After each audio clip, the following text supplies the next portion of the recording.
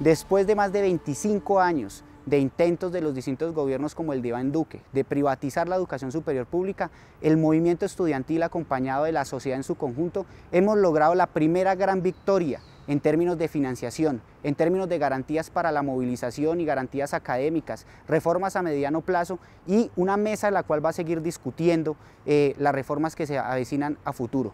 Esto significa una primera victoria para las nuevas generaciones de nuestro país.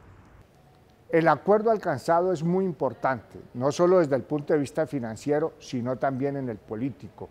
Ha mostrado en este sentido lo importante que es la movilización, que es tan necesaria para obtener conquistas, para sacar adelante las reivindicaciones. Y ha mostrado también que hay dos modelos de financiación de la educación superior pública y que uno de ellos, el más importante, es la financiación de la oferta de las universidades públicas. Esto lo puso sobre el tapete la movilización. Para nosotros los trabajadores, haber apoyado el movimiento estudiantil significa eh, el comienzo de una lucha para eh, apoyar a todos nuestros jóvenes a que tengan una educación digna.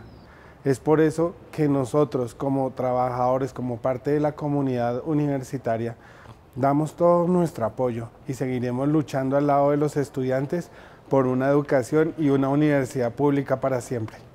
En representación de todos mis compañeros trabajadores, damos las gracias a todos los estudiantes que participaron, lucharon, que lograron este histórico acuerdo con el gobierno nacional. Esto ayudó a que el pueblo colombiano entendiera que la lucha era en serio, la lucha era grande por nuestra educación pública. Este paro universitario despertó una gran iniciativa de los estudiantes. Esto no solo permitió que los estudiantes fuéramos más unidos, hiciéramos cosas más innovadoras, sino que nos, empezó a, nos permitió ganarnos el corazón de la sociedad, para que, no fuéramos, para que esto no fuera una sola pelea de los estudiantes, sino en general de todos los colombianos. Teníamos una gran incertidumbre para seguir funcionando en condiciones normales en el 2019 y en el 2020.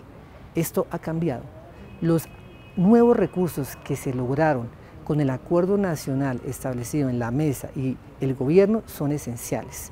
En materia de funcionamiento nos ayudarán bastante. Pasaremos aproximadamente de 1.700 millones en el 2019 a 11.300 millones en el 2022 y para inversión de 3.100 millones a 9.300 millones. Esto es esencial para seguir fortaleciendo la universidad y seguir posicionándola en el ámbito nacional. Lo que se viene para el movimiento estudiantil es estar en estado de alerta máximo y proceso de debeduría para el cumplimiento de los acuerdos.